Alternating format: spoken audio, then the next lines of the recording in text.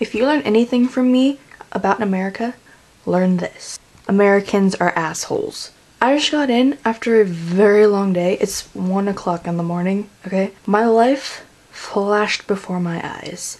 I thought I was going to die because some asshole was at a stop sign. It was his turn to go, so I was letting him go. He turns his bright lights on, so I'm blinded. I can't see. He starts coming at me, okay? I think he's gonna ram into me because it feels like it. And I just froze. I couldn't do anything. I was scared out of my mind. And at the last second, he turns. Americans are assholes. What did we learn today? Americans are assholes. Okay, not all Americans are assholes, but most of them are. So on Saturday, I went to this comedy show, and my dad is always taking me to these comedy shows with different comedians. I don't remember who we saw last time, but on Saturday, I saw this guy named um, Gabriel Iglesias, and I don't think he's that funny. And he's obviously like a cool guy, and like I don't think he's dumb or whatever, but he's just not my brand of comedy. And I'm not an expert in the field of comedy or anything, but I'm kind of picky when it comes to the comedians that I like, and I really only like one comedian. And that comedian is Daniel Tosh, because he is amazing. He is one funny guy. I'm so in love with Daniel Tosh that's it's kind of weird. I think I know probably every word to every one of his jokes. I love him. I think he's hilarious. And maybe that's my brand of comedy. Like, he's a pretty big asshole. Maybe that's what I like. Probably, I guess, because he is funny. And I can listen to him over and over and over and over and over again, and I still laugh. Every time, I still laugh. So we went and saw Gabriel Iglesias, and I'll admit, I laughed a few times, okay? Some of the things he said was pretty funny. And the things he can do with his voice or whatever is really good, and he's skilled. He's just not my brand of comedy. I don't know. Also on Saturday was our very last open mic at Eclectic Books. Eclectic Books is the bookstore that my mom owns, and is going out of business. Because that's how it works in America. You can't win unless you're McDonald's or Coca-Cola or Barnes & Noble or Hollister. Independently owned businesses just don't work here.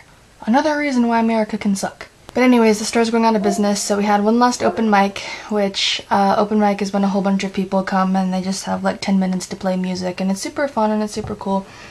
And normally it's like the same people every week, and they've come to be like our friends, you know, and we've gotten to know them pretty well.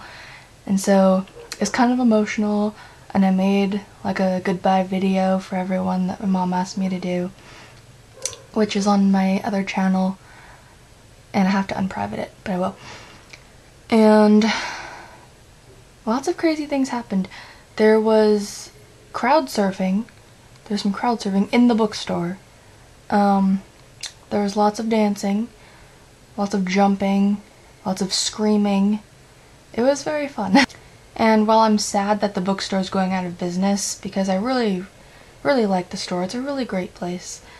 Um, this is just the next step, and we'll be fine. Okay, another thing I've been super into lately, Bo Burnham. I love that guy. He is hilarious and awesome. Um, a friend showed him to me a couple years ago, two years ago, maybe a year ago, and I really liked him. So I listened to him a little bit and stuff, and I was watching his videos and whatever. And then I kind of forgot about him a little bit, and he's kind of coming back up, and like he's making more videos and stuff now. So I'm like getting back into Bo Burnham, and he is so funny and super awesome. I wish I could go see him in concert because he's playing at the Music Box in Hollywood. I really, I would go, I would, but it's like really expensive, so I'm probably not going to. But also on Thursday I'm going to a concert with my buddy Matt, and we're gonna go see Fun. I don't know if I've talked about them before, but they're really cool. And then on Friday, I'm going to Santa Monica, which is like where Kassem G films California on, kind of. And I'm going to Santa Monica for a Wizard Rock concert, which is bands that play Harry Potter songs. And I'm going to take my friend Regina to that because she's never been to one. So that should be pretty fun. And I can get video from that because that's going to be really small. But I probably can't get video from the fun concert because last time I tried to get video at a fun concert, they told me to stop because you're not allowed to record.